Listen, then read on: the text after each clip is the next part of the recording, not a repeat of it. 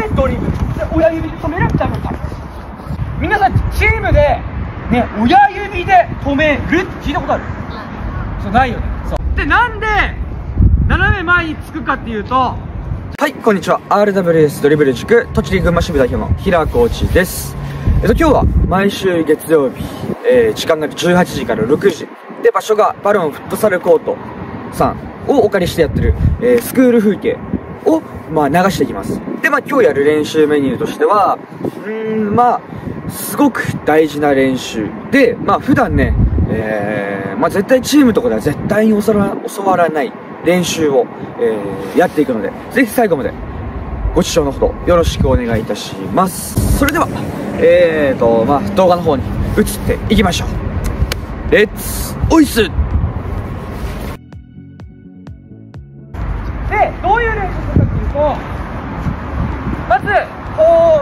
ここマーカーからコーンまで小指のターン。小指のターン。でコーンに向かってドリブル。で親指止めるダブルターン右利きの子はターン終わったら右足でドリブルして親指止めるダブルターン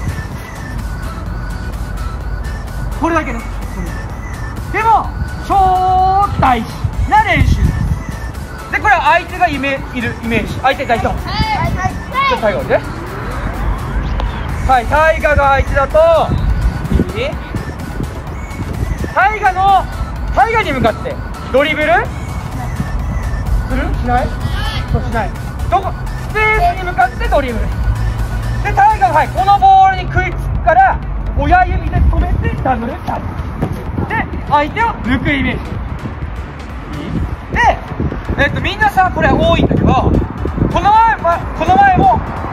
クールであ向こうはコーチを攻めてるではいタイガーディフェンスボールタッチ大きくなった。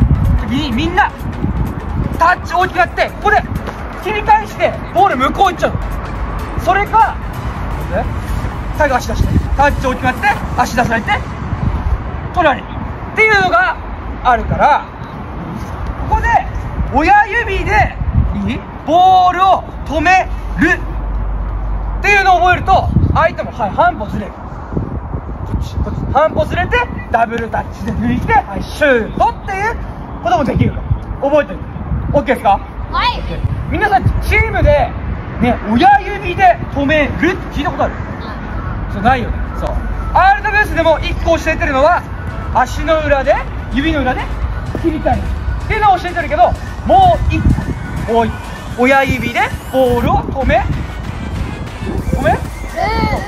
ダブルタッチで相手を抜く練習をしてください OK で、えー、一つだけ超大事なポイントあるんだけどみんなさこれやってみて教えてください。でも注意してほしいのはここでしっかりボールを止めそう止める。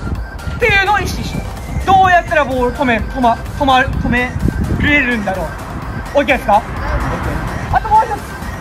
えー、と親指で止める瞬間にキックフェイント。キックフェイントして止まる。ダブルタッチ。っていうのでこれキックフェイント入れないでただ親指で止めてダブルタッチ。相手抜けないから。しっかりシュートするっていうイメージで止めてダブルタッチ。OK?OK、OK ですか、OK みんな、はい、行きましましょう。わあハルマー止まってないハルマーオッケー。そうタイガータイガーしっかりボール止めてボール止めて。あ僕もよしこれ昨日単発だったね。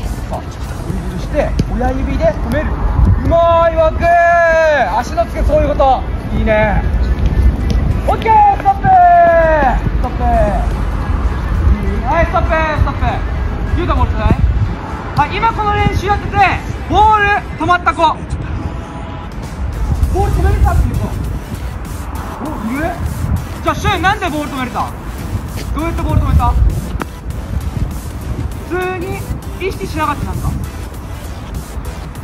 ないじゃあ次ね、えー意識してほしいこと。これやるとボール止まるからみんなドリブルしていく必死に。で親指で止める前に何をするって言ったっけ？そうキックフェイントね。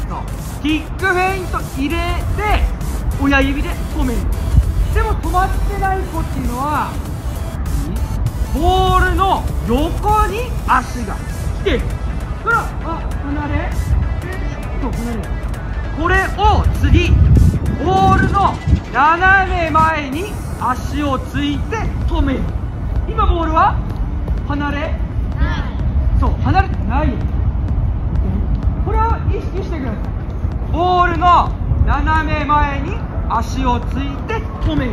でダブルタッチ。OK でなんで斜め前につくかっていうとじゃあシュンおいでシュンがさ相手でコーチのダブルタッチを見て。ダブルタッチ。ここではい親指で止める。で次コーチは斜め後ろにダブルタッチしてんのでもこれをボールの横に足ついてダブルタッチしちゃうと横にダブルタッチいけるただ相手を抜けそう抜けないからボールを取られないダブルタッチをするためにもボールの前に足をつそうつくして手でボールを止めて斜め後ろにダブルで前これを次意識してください。OK? OK ですか、はい、行きましょう。レッツゴー